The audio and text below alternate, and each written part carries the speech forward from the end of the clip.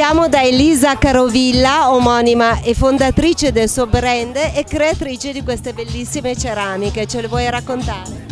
Sì, si tratta di un progetto eh, fondato appunto sul recupero di oggetti in disuso e non più utilizzati, per esempio come porcellane oppure giocattoli, assemblati tra loro per ridare ad essi un animo ludico e artistico.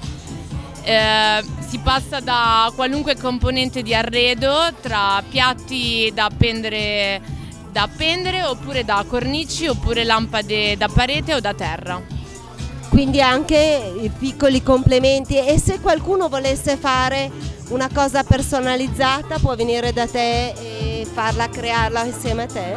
Assolutamente, se vengono dati degli oggetti che magari sono di ricordi oppure oggetti preziosi ma personali possono essere stati fatti e creati, trasformati per creare appunto degli oggetti che sono unici e non più riproducibili. Ecco. Perfetto, un riuso perfetto delle cose che amiamo.